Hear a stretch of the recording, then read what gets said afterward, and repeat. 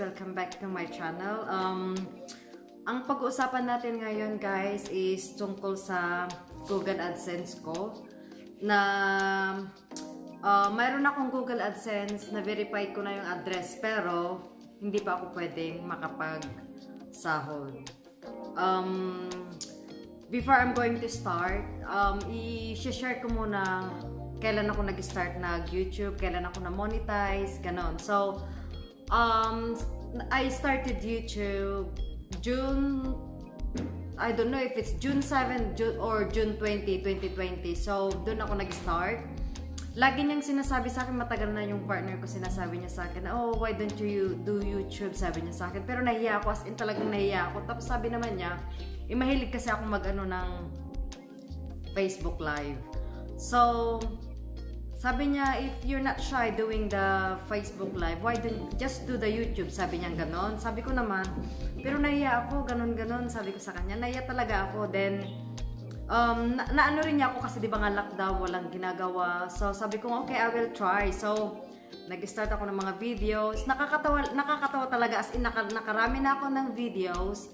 Then, yung cousin ko from Norway, si Arlene B, uh, lagi niya, oh, tinawagan niya ako, sabi niya sa akin, ilang months ka na sa YT ka? Sabi niya sa akin. Sabi ko naman, one month. Sabi niya, la, one month ka na pero 41 subscriber ka pa lang. Yun ang sabi niya sa akin. So, uh, for, uh, tumatawa siya. Sabi ko, anong gagawin para mapaano ko makuha ko yung 1,000 subscribers? Sabi ko sa kanya. Then, dun siya nag-start na sinabi niya sa akin na pumunta daw ako sa mga live streaming, ganyan-ganyan. Sabi ko, ano yun? So, as in talagang alam mo mga ignorante.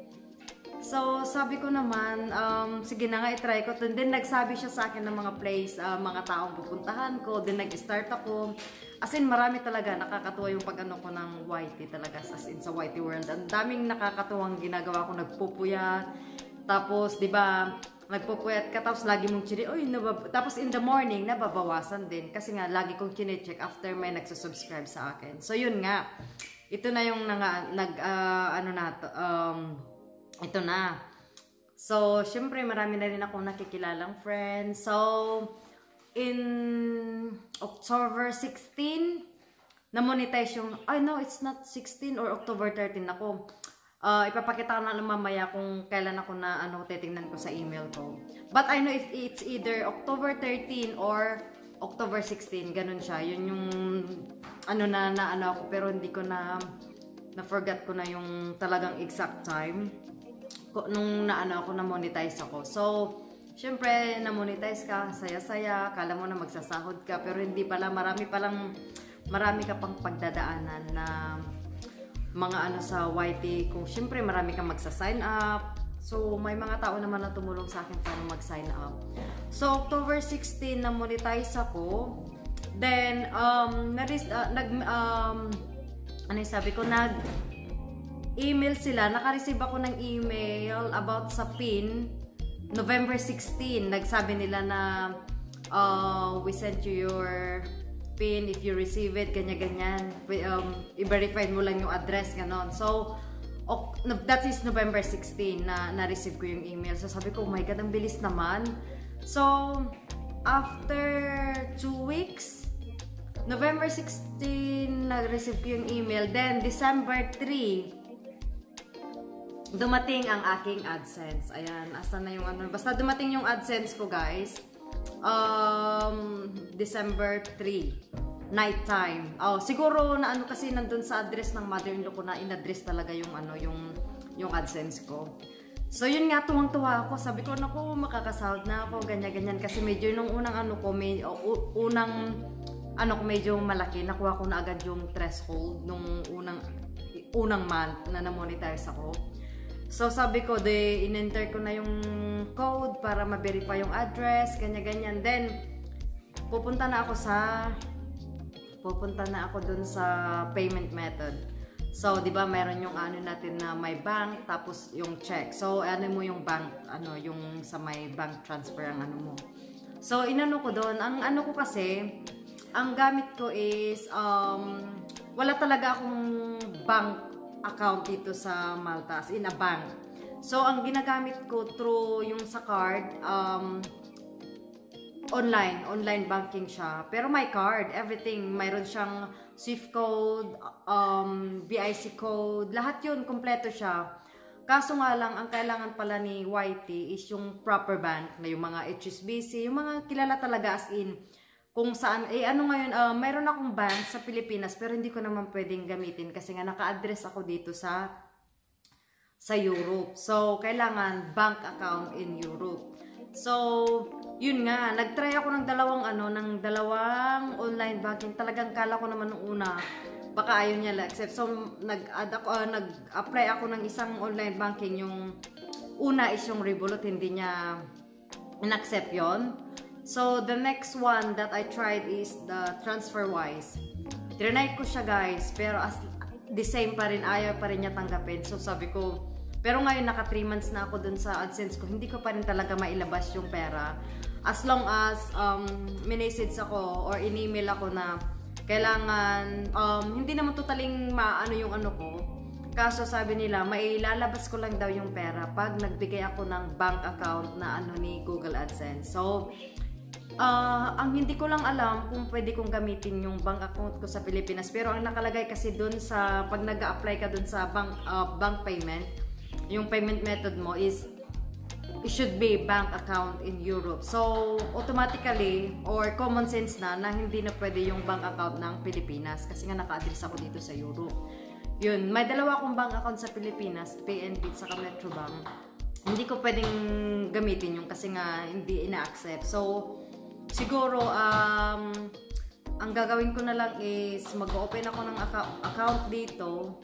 Um, HSBC kasi daw yun yung sabi nila na naka, nakausap kong mga ano nakausap kong mga Pilipina mas madali daw yung HSBC na mag-open kaysa dun sa local talaga na as in bank ng Malta yung Bank of Valletta yung BOV as in mahirapan daw ako nun. So siguro itatry ko yun, mag-open ako at at the moment, tinamad. Tinamad akong gumawa after, nasabi ko gagawin ko after ano, after um, New Year. Ngayon, hindi ko pa rin nagagawa guys. So, October, November, December, mayroon nang nakapending doon na sasahurin. So, as long as wala pa akong binibigay na payment method, ma-stack at ma-stack yung pera dun. So, hindi naman kalakihan. Siguro, sakto lang, saktong pangkape, sabay ganun. No? Hindi naman, siguro sakto lang naman. Pangkain, ganun. So, ang maipapayo ko lang sa inyo guys, um, yun nga, kung gusto niyo talaga magano is bank talaga. Yung mga bank na hindi, uh, ayaw niya yung mga online banking na mga ano. So, kung mag-open kayo ng account, talagang sure nyo na inaano ni YouTube yun. Kasi medyo mahigpit talaga ngayon si Lolo. Hindi na niya nag-ano ng basta-basta. Wala na rin dun nakalagay na Western Union. Talagang bank transfer or check. Ano ko, check eh. Mas mahirap yun. So, yun nga. Yun siguro yung check eh. Pag ano yun pag malaki na. Pag mga big YouTuber, ganon. So, yun lang naman yung inaano ko. Kaya sabi ko nga, mayroon na akong Google AdSense um, since December pero until now hindi pa ako makasahod, 'di ba? Kasi nga hindi pa ako nag-ano sa kanila nang nag-update ng bank uh, payment method sa ano sa Google AdSense ko. So, ito yun yan, yun guys, yun yung ma-share ko sa inyo na basta mag-open kayo ng uh, bank account na as in talagang mayroong kompleto siya, may may SWIFT code, IBAN number, ganun yung hinahanap niya eh.